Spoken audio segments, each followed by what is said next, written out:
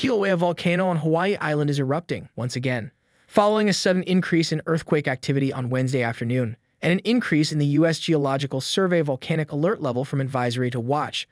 Lava is now filling the summit crater once again. The alert level is now at warning.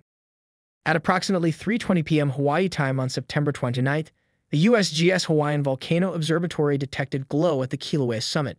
Webcam images revealed that an eruption had commenced within the caldera, as of now, all activity is confined to the summit area within Hawaii Volcanoes National Park.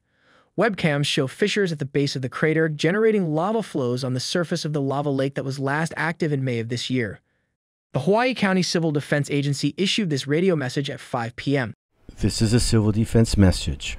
This is a Kilauea volcano update for Wednesday, September 29th. The Hawaiian Volcano Observatory has revised alert status for Kilauea volcano from watch to warning and the aviation color code from orange to red.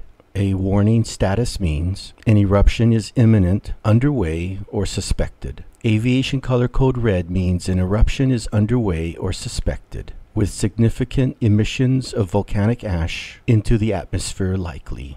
Kilauea volcano is currently erupting in Halemaumau crater at the Kilauea summit. Eruption activity is confined to Halemaumau crater, and the Hawaiian Volcano Observatory is monitoring and assessing the situation.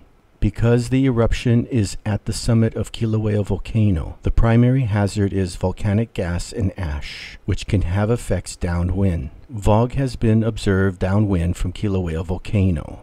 For information on gas hazards, please visit the Kilauea status website. If you experience foggy conditions in your area, limit or suspend outdoor activity.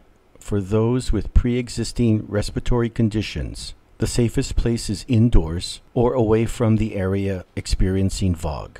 Please keep yourself informed. This is your Hawaii County Civil Defense Agency.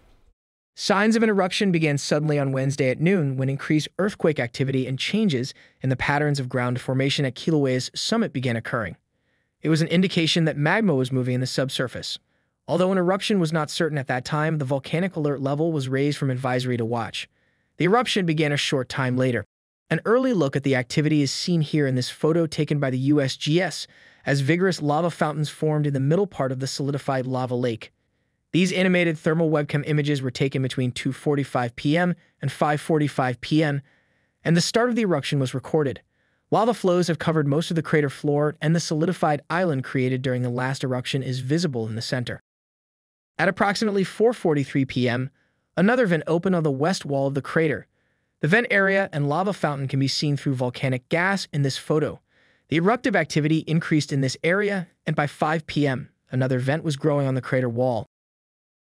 The USGS published this map showing the location of the new fissures at the summit. The new eruption is already generating a vigorous plume of volcanic gas.